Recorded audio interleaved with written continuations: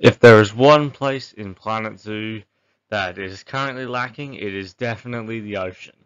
The ocean is the largest biome on our planet, um, comprising of its own little sub-biomes, such as the kelp forest, the coral reef, and of course the open ocean. There are several different species from the ocean that currently don't exist in Planet Zoo. One major group in particular, the fish. Fish are one of the most diverse groups on our planet, and Planet Zoo should certainly include them in some capacity. Now, when it comes to an aquarium DLC, it doesn't just include the ocean. Freshwater rivers and lakes also be, are to be included here, as there are various fish and other animals existing in those environments too. The closest thing we have to the ocean right now is um, semi-aquatic animals such as penguins and seals, and I guess you could count the saltwater crocodile as well, as they both exhibit um, populations in the mangroves and estuaries, as well as onto the coral reefs occasionally. So let's dive into, if you'll pardon the pun, the aquarium DLC and what it could potentially include. So um, a major group of animals is the sharks. Now the sharks are one of the most ancient predators on the planet, stemming back to over 300 million years ago. And they have not changed too much over the course of their history and have developed to become our planet's most perfect aquatic predators. I mean, you could argue orca are one of the the better examples of a perfect aquatic predator, but they haven't they haven't got the same legacy that sharks do. These animals have ruled the oceans for several million years, and there are several species in our modern era that could be included in an aquarium DLC. One of the most famous is the tiger shark, a species that is kept in a few aquariums and would be a great species to have in the, have in this pack, or just as a shark in general. So with the tiger shark, you've got other species like the sand tiger or grey nurse shark, um, as we like to call them in Australia. They are also called the ragged-tooth shark for very obvious reasons. There's also the iconic great hammerhead shark, um, a species I personally would love to see in the Planet Zoo. Um, you've also got the black-tip reef shark, an iconic species of the coral reefs. The bull shark, one of the most notorious species of shark. White-tip reef sharks, another species of our coral reefs. The zebra shark, a species known for changing sex from male to female, funny enough. Um, sandbar sharks are an iconic species in American aquariums, known through many institutions. The broad-nosed seven-gill shark is one of the largest sharks in the kelp forests of um, Monterey Bay and the and the Pacific coast of America. And yeah, it would be an interesting species to have as it doesn't resemble most other sharks that are on this list. There's also the bonnet head shark, a species that is often regarded as an omnivore as it both dines on a variety of fish as well as seagrass. There's also the leopard shark, another species of the coral, uh, not the coral reefs, the kelp forest, um, using its coloration to help camouflage amongst the kelp. And of course the titanic whale shark, a species that would be a mesmerizing sight in Planet Zoo.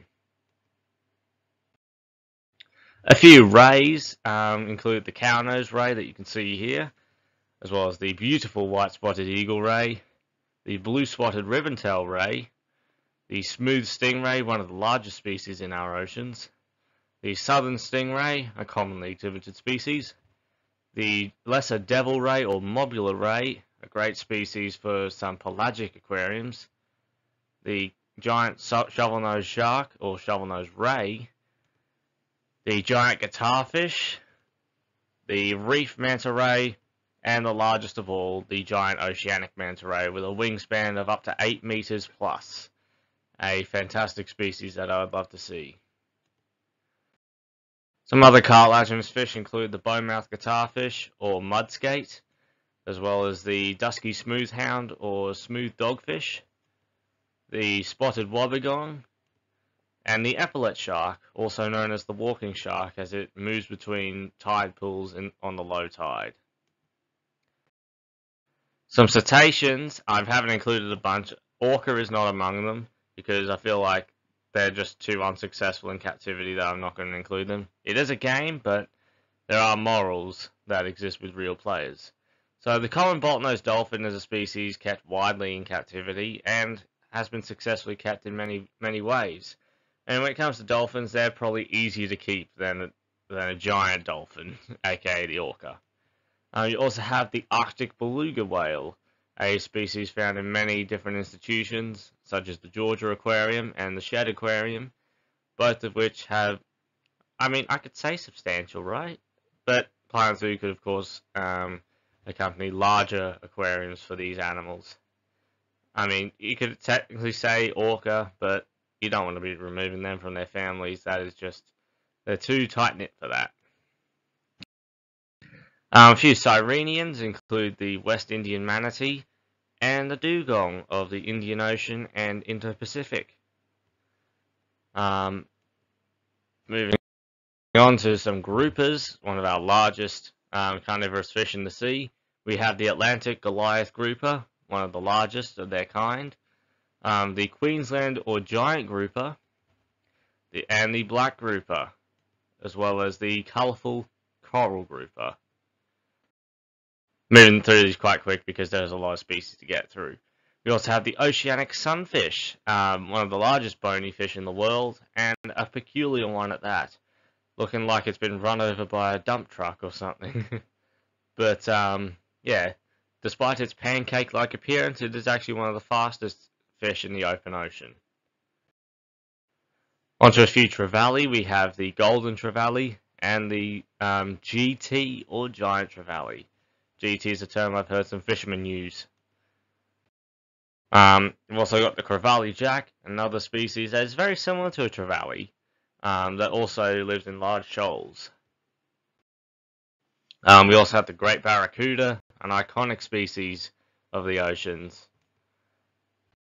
Uh, some wrasse, uh, species like this humphead Maori wrasse or Napoleon wrasse, as it's often called as well. Very colourful species of the coral reefs. Also got the kobudai or Asian sheephead wrasse, um, a species notorious for changing sex from male to female and having as big a chin as they do a forehead. Um, one of the most peculiar fish in the sea by far. Also got the California sheephead wrasse, a species that dines on purple sea urchins to sustain the, the kelp forest. And the blue streak cleaner wrasse, a, a shark's favorite dentist. Um, as I said just then, they they live at cleaning stations um, in the shallow oceans of our of our planet, and will clean the teeth and jaws of large fish, rays, and sharks. Some marine reptile options include the green sea turtle, a species I included in my coastal animal fact idea, but other than him, we have the loggerhead sea turtle, a species known from North America quite well, um, the hawksbill sea turtle, a critically endangered species, and we also have a more unique marine reptile, the yellow-lipped sea krait, one of many sea snakes in our oceans.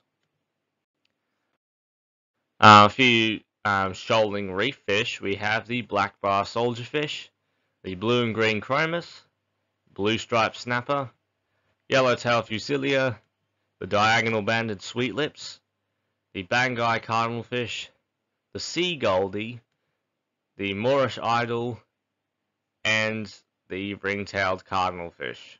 All species that would be fantastic to see shoaling in, um, well, a shoal.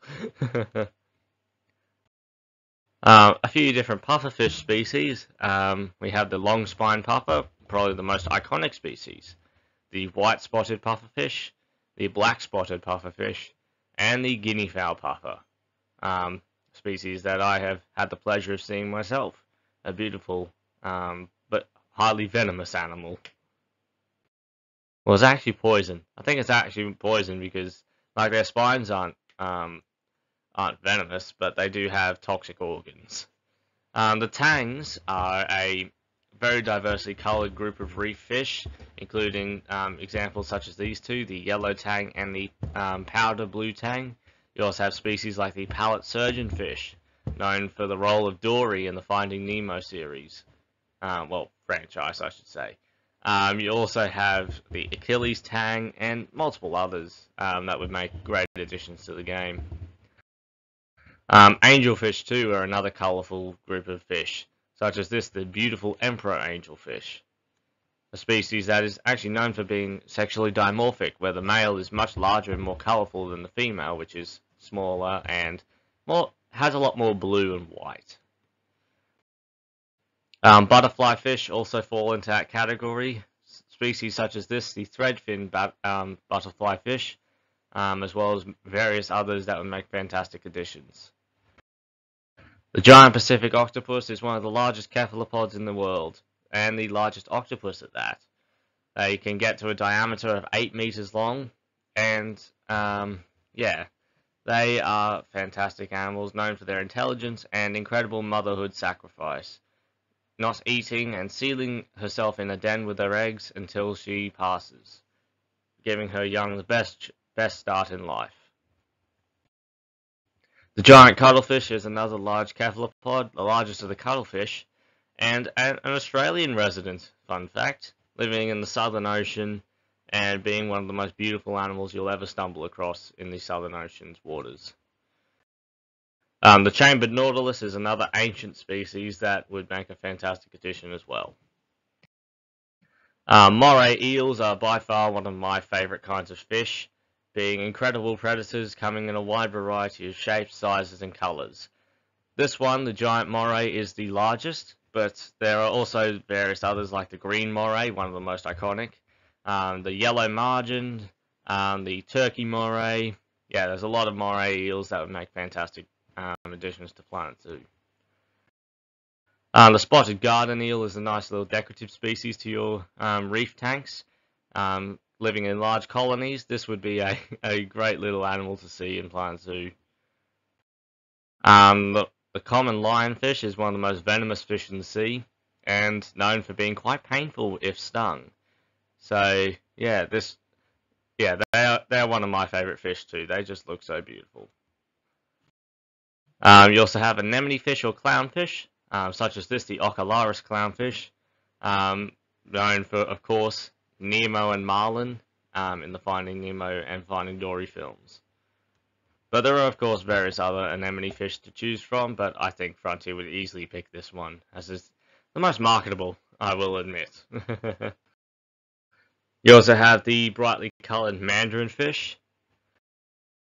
The the very intimidating, sarcastic fringe head. They may be only little fish, but they have a big mouth. Um, you also got the highly venomous stonefish, the uh, master of camouflage, the frogfish, that come in various species. Giant frogfish would probably be my choice. You also have the Garibaldi, a very goldfish-looking species from the kelp forests of Monterey Bay and the Pacific Northwest. Um, you also have the peacock mantis shrimp, um, one of the most brightly colored um, crustaceans that you'll see in the sea, um, with a punch that, yeah, is probably worse than a bullet. Um, we've also got sea stars. Now, sea stars would be great for like little touch tanks and intertidal zone exhibits. Um, there are various species like this, the royal sea star, the sunflower sea star, a voracious predator at that, and the iconic blue linckia. I mean, you probably wouldn't know its name, but they are a very common sight in touch tanks. But there are, of course, multiple other species to choose from, as well as sea urchins, um, another great species for intertidal zone exhibits. Um, anemones, a brightly coloured group of um, animals that would be, yeah, it's a, it, they're just a must for the aquarium DLC as they add so much to um, what can start out as quite a barren tank. Um, you've also got barnacles, that would be great for intertidal zones. Um, they may look like just little rocks, uh, weirdly shaped, but they are the exoskeletons of a little animal that lives inside. Um, you also have sea snails, um, clams of various kinds, um, crabs like this, the Sally Lightfoot crab of the Galapagos, uh, the Japanese spider crab, um, one of the most iconic deep sea animals. Um, lobsters like this, the American lobster. Um, Pacific cleaner shrimp would be a great species to add to any um, coral reef exhibits as they do pick the parasites of a majority of the residents. Uh, you've also got the corals, um, a very diverse group and very important group for sustaining the coral reef, one of the most diverse um, biomes on the planet. Um, you've also got the weirdly shaped sea cucumbers, um, a group of animals that would, even though they wouldn't really do too much, they would be a, um, yeah, it would be nice, nice to see them bump up that diversity. We've also got the hyper colourful nudibranchs that come in a variety of shapes, sizes, and colours. Um, along with the nudibranchs, you also have the blue sea dragon, another species of sea slug that remains suspended on the ocean surface. A very eye-catching addition that would be fantastic. Um, a few more fish. You have the unicorn fish, the filefish, such as this, the orange spotted filefish, species I didn't know the name of until I took the time to try and look it up. Um, you also have the trumpet fish, a very oddly shaped fish, harlequin tuskfish, fox-faced rabbitfish, the damselfish of various species, the royal gramma, the goatfish that come in a variety of species too, um, triggerfish like this, the clown triggerfish, but you've also got um, the reef triggerfish that has a notoriously long and convoluted name. um, you also have the cowfish, um, as well as the parrotfish. Yeah, let's just say there's a lot of fish in the sea. Um, there's also seahorses, um, often called one of uh, nature's most poorly designed animals as they are so slow, but also a very interesting animal. Um, you've also got sea dragons, one of the seahorse's closer relatives. Um, moving on to a few more continental freshwater species, South America is known for its varieties, such as this, the arapaima. We've also got the tambaqui or pacu, the red-tailed catfish, the red-bellied piranha, um, silver arowanas, and various other fish, like Oscars too. Um, um, North America has its fair share of species, such as this, the alligator gar, but you've also got various bass and sun. Um, is it sunfish or is it? Uh, can't recall. um, Oceania um, has its own has its own little species, like you got some freshwater eels. This the Murray cod, um, and few perch species too. Southeast Asia has its fair share of catfish and carp, um, like this, the iconic Mekong giant catfish. East Asia um, has its own, the koi, um, a species known for being exhibited in a variety of different gardens, um, and would be a great species to liven up the, the little pools in your zoos, just to add a bit more liveliness to those water bodies. Um, Europe has the beluga sturgeon as well as various other species like the Wels catfish. Um, Africa has the Goliath tigerfish as well as a multitude of cichlids from the various Great Lakes. Um, moving back to the sea, we have various jellies like this, the compass jellyfish, a species that would add um, as a great sort of um, what's the word? Um, I I don't know, but they're, they're, they're a very beautiful species that would get, catch the attention of any of your visitors. We've also got the kelp bass species found in the kelp forests, as you could probably tell by the name. Um, you've also got the banded archerfish, um, a group of fish known for having impeccable accuracy by shooting water from their mouths to hit insects off of um, leaves above. A few update features such as this, the underwater tunnel. Um, you've also got uh, windows that can be placed on various angles of your visitors. So you can have them coming from the front, from the side, from above, and even from below, giving your visitors one of the most immersive experiences they will ever have. Um, Placeable slides for um, some of the semi-aquatic species like otters, seals, and penguins would certainly be a fun time um, to watch. It would be very fun. Uh, you've also got the touch tanks I was talking about, so these would be for some of your more harmless species like the urchins and the sea stars and even the anemones too. That would just be great for guests to have a more immersive experience with the oceans. Um, multiple Samrock pieces, so basically what Samrock is, is cement designed to look like rocks, like you can see here, and pieces like driftwood and maybe even faux sea stars and other intertidal zone animals to sort of decorate um, the, these Samrock pieces in your aquatic exhibits. Um, up some other update features like rounded windows so that um, guests could look at a single window and have the fish go up, up in front of them, and above their heads as well. Animal displays like this, a um, hanging, is it a statue? I don't know. Um, basically, ha hanging displays of animals such as whale sharks and other large fish, um, just to give guests a hint at what animals they will find on their journeys. And LED um, text would be would be great too, so you can place these letters down and they will light up. Just to make it look more techno, you know. And that is all I have for you when it comes to the aquarium DLC. So this is a this took me a while to make, um, especially the the slides in general. There are a lot of species to choose from and lots that just came to mind. But the aquatic environment is the most diverse on the planet, and there was certainly no way I was going to let it fall short. I had to include as many that could come to mind that I could see coming into Planet Zoo. I mean, you could of course argue that we could get a Planet Aquarium, but um, many aquariums actually do merge with zoos.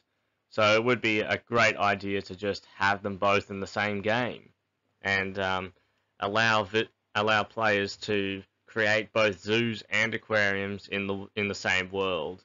So you can have gorillas and elephants in one part of your zoo, and you can have an aquarium with sharks, rays, and various reef fish. Yeah, I think it would just be a great idea to add to that diversity factor to um, boost how the zoos appear.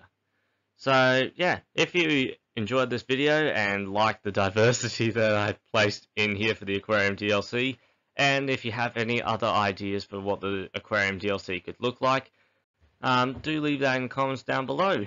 Um, as for now, like if you enjoyed the video and subscribe for more, and I'll be seeing you in the next video. Bye bye.